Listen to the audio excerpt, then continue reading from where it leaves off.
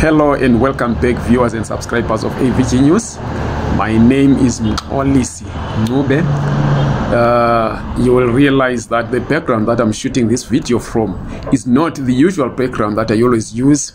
That is because today is the 15th of, of December and we are already picking up and putting away most of our equipment uh, in preparation for the December holidays because today is our last day at work.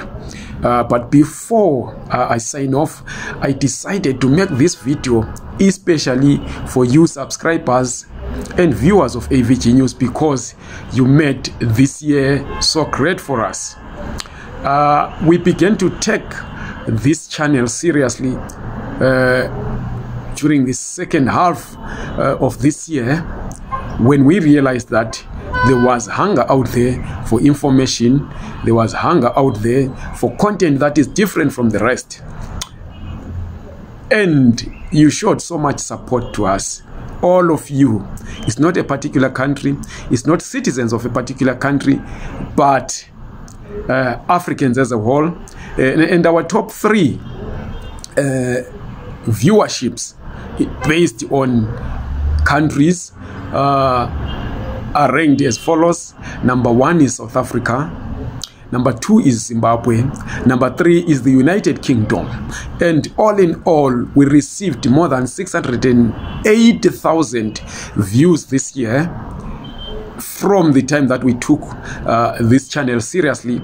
And then you gave us more than 1.8 million viewed minutes. You gave us more than 9000 likes on our videos. This is so marvelous. You are so amazing.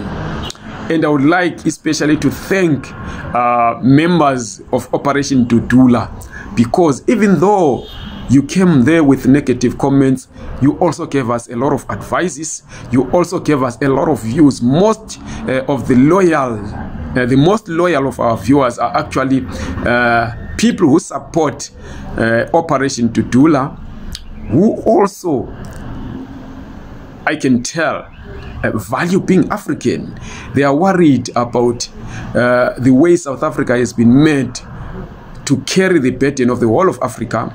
And that is principally because we as africans have refused to choose good leadership. Despite uh, despite the signs the telltale signs of bad leadership especially in our opposition parties and the ruling parties we have continued to stick with those. We have created a lot of dichotomies in africa. In zimbabwe we have zanu pf and mdc and now we have zanu pf and triple c.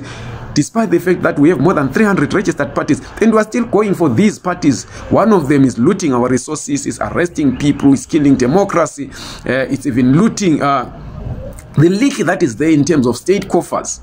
The other one is inviting sanctions on our country and we still support those they have shown us that they don't have anything to offer in terms of new ideologies in terms of new leadership but we've continued to stick with them. Next year we are going to elections 2023 and we will still stick with them. The triple c and mdc combined since 2000 that is for 22 years have run down our cities. They can't even collect garbage and all they do is give us excuses. That zanu pf is tampering here and there yet we know this is all lies zanu pf is even worse. They will always cry sanctions cry sanctions cry sabotage. At the end of the day we know that they are looting they are failing to arrest corruption they are failing to deal with their own members who are looting state resources. And we still stick with them. This calls for a new uh, way of thinking in terms of African voters, in terms of Zimbabwean voters, because we have continued to be a burden to other Africans. And these people of from Operation Dudula, despite taking it the wrong way, are telling us the truth that we're failing to take, the truth that we're failing to accept, that we are by and large responsible for the situation that we find ourselves in as Zimbabweans. And we thank them for that. But we are saying that there is a way of dealing with this, there is a way of engaging with people from migrant producing countries and putting pressure even on our own governments, be it South African government, be it Zimbabwean government. As citizens, we must put pressure on them to say, what is it that you are doing to make sure that the people that are suffering under this kind of dictatorships uh, get a better life and find it uh, worthy living in their own countries to fight the next day.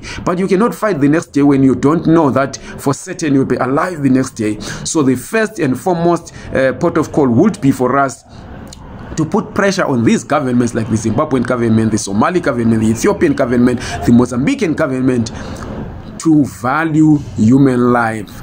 Politics doesn't mean that we should kill each other. Politics that doesn't mean that we should torture each other. Politics doesn't mean that we should harass each other. Politics doesn't mean that we should intimidate each other. It means we should call each other to the table and engage on how best we can solve the crisis that we find ourselves in.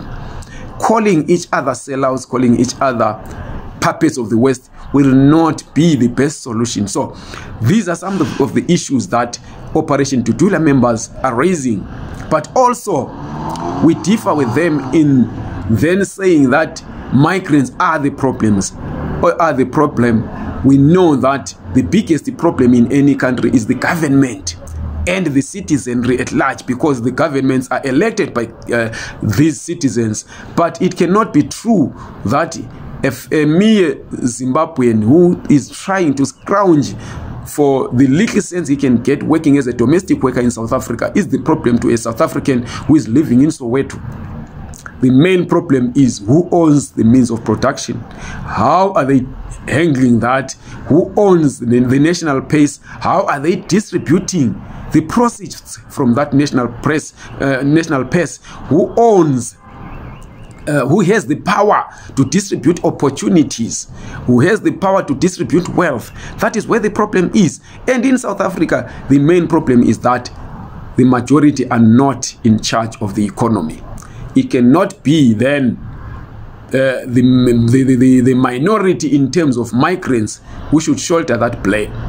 Migrants are here because they failed to exist in their countries under dictatorships, under political upheavals, under war, and under uh, shrinking employment opportunities. So, the best way to tackle this is to have dialogue with them, hear out their cases, give them our own ideas on how best they can solve that and if needs be let's join the solidarity war so that at the end of the day the migrants that are flooding south africa find peace in their own countries and go back so that uh, even those countries that are producing migrants now get the capacity to host migrants so that the distribution of migrants doesn't always see them being flattened, flooding one particular country, but spread across several countries so that they can shoulder the blame uh, collectively. I mean, the, the, the burden collectively. But also, we must not take note that migrants are also bringing skills. They are bringing in uh, a lot of business, and we should take advantage of that instead of fighting them. Uh, so, all in all, I would like to say thank you very much, subscribers and viewers of AVG News. Keep coming, keep giving those ideas, keep posting those comments because they make us uh, tick. They tell us uh, the things that we don't know. They give us a different world view of events. So thank you very much uh, to all those subscribers and viewers who kept on watching our content. We will bring more content next year, better content next year, better quality next year, and uh, different programs next year. Thank you.